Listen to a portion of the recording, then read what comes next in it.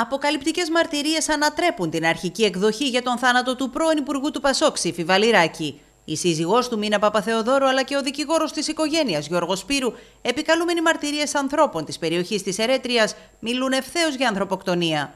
Η κηδεία που επρόκειτο να γίνει σήμερα στο Παπάγου αναβλήθηκε και ορίστηκε η διενέργεια πραγματογνωμοσύνης.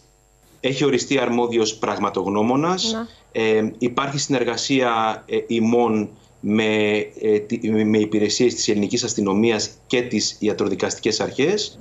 Αποκαλυπτικές είναι οι μαρτυρίες που έχουν καταγράψει οι αξιωματικοί του λιμενικού τμήματος Ερέτριας. Σύμφωνα με αυτές, την ώρα που ο πρώην Υπουργός κινητό με το φουσκωτό του προς το πεζονήσι, ο καπετάνιος ενός αλλιευτικού άρχισε να κάνει επικίνδυνους ελιγμούς γύρω του. Μάλιστα, οι δύο άντρες φαίνεται να λογομάχησαν.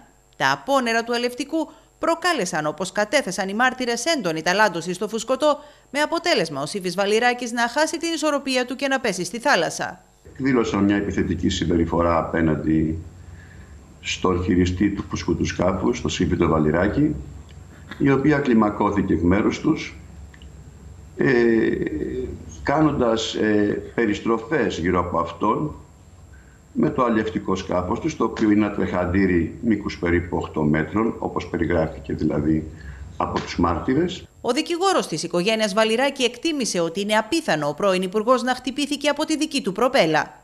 Αναφορικά με το κίνητρο του δράστη, είπε ότι είναι πιθανό να σχετίζεται με την επαγγελματική του στάση και την ιδιοκτησιακή του αντίληψη για τη θάλασσα, που προκαλεί εχθρική στάση προς τους μη επαγγελματίες ψαράδες. Πρέπει να προεκλήσει να τον προκάλεσαν και πάλι να είχαν κακές διαθέσεις αυτοί που το είχαν. Ο Σύρφ παρά τα 77 του δεν νομίζω ότι θα είχε πρόβλημα. Πρέπει να χτυπήθηκε. Ο κριτικός Υπουργός Ναυτιλίας Γιάννης Πλακιωτάκης, στον οποίο απευθύνθηκε χθες με επιστολή της η σύζυγος του Σύφη Βαλιράκη, κάνοντας λόγο για ανθρωποκτονία και ζητώντας εντατικοποίηση των ερευνών, ανταποκρίθηκε άμεσα.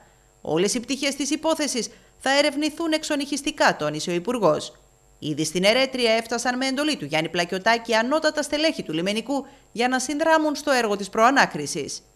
Ε, εργάζονται νυχθημερών για το σκοπό, με, το, με σκοπό να συλλέξουν το, το υλικό που προβλέπεται.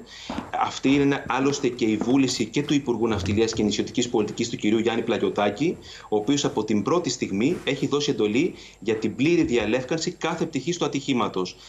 Υπενθυμίζεται πως από την ιατροδικαστική εξέταση προέκυψε ότι ο θάνατος του πρώην Υπουργού οφείλεται σε κρανιογκεφαλικές κακώσεις, οι οποίες προήλθαν από θλόν και τέμνον όργανο. Ένα τέτοιο όργανο είναι και η προπέλα ενό σκάφους. Οπότε είναι πιθανόν με βάση τις συνθήκες και τα γενικότερα ε, ανακριτικά στοιχεία να, είναι ένα τέτοιο, να έχουν προκληθεί από μια προπέλα και υπήρχε, υπήρχαν και κάποια στοιχεία συνεπακόλουθου πνιγμού και στόχος και σκοπός μας είναι μετά την περάτωση της προανάκρισης να μην εφίσταται καμία σκιά, καμία υπόνοια και κυρίως κανένα ερωτηματικό. Οι αξιωματικοί του λιμενικού που χειρίζονται την υπόθεση έχουν στα χέρια τους περιγραφές των ατόμων καθώς και τα χαρακτηριστικά του αλευτικού σκάφους το οποίο επέβαιναν και εκτιμούν ότι είναι πλέον θέμα χρόνου να βρεθεί ο ιδιοκτήτης του και όσοι ήταν πάνω σε αυτό.